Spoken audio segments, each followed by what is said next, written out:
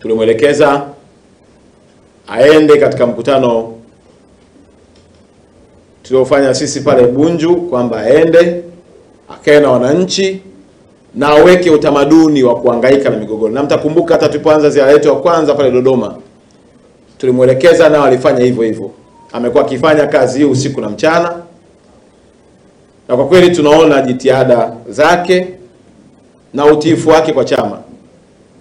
La yetu ni kwamba waendelee kuifanya kazi hiyo, na wale wote waliodhulumu na kunyang'anya haki za wananchi wasisite, wachukue hatua hata kama zina maumivu, lakini ziwe fundisho ili kumlinda mnyonge na maskini wa taifa hili asikandamizwe na watu wenye pesa na wenye mitandao mikubwa ya kujuana na watu wanaweza kuwalinda.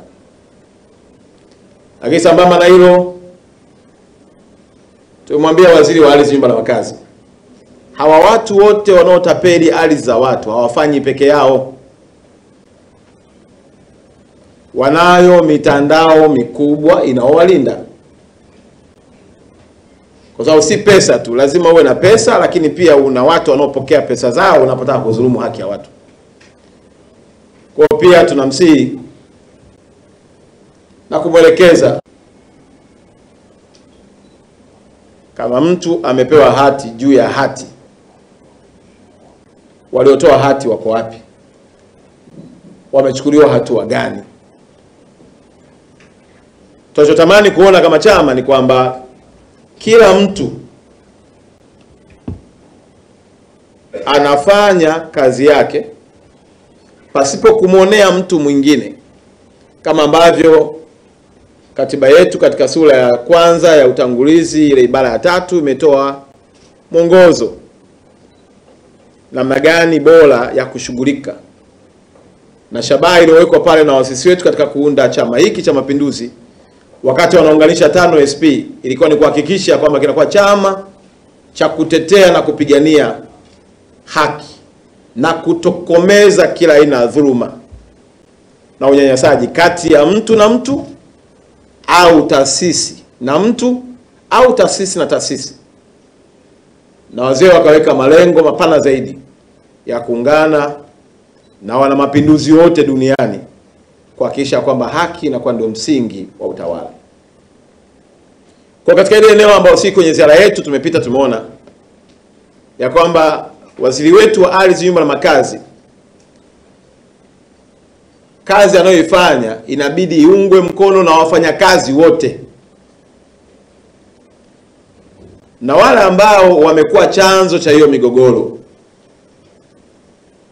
nao wachukuliwa hatua za kinizamu kwa mujibu wa utaratibu wa kiutumishi. Kuhama tu sio tatizo, sio jawabu. Tumeenda kwa mfano pale Iringa, tumemkuta mtu mmoja alimaarufu kama Shirima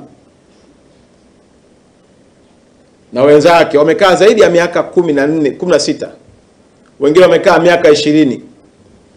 Mtendaji anapokaa kwa muda mrefu kiasi hicho, na wakati taratibu za kiutumishi zinataka akae isizidi miaka minne,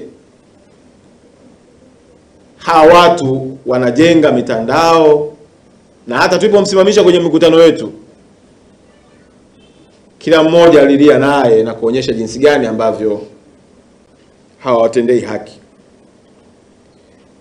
Kwa hiyo katika pointi yetu ya pili ni kwamba kila mtendaji katika sekta ya ardhi, katika wizara ya ardhi, ambaye amekuwa sehemu ya mtandao wa kudhulumu na kuonea wananchi,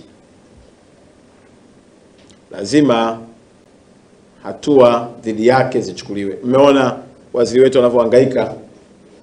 Kwa mfano wale watu wanaowataja wote kwamba wana mitandao, wale watu hawezi kuwa na mitandao wao peke yao, maanake hata ardhi wapo watu wao wanaoshikiliana nao. Sasa ili kuweka discipline na matokeo yale ambayo Daktari Samia anayotaka kumhudumia kila mtu kwa haki, lazima pia hao watumishi wabainishwe na hatua stahiki zichukuliwe. Sambamba na hilo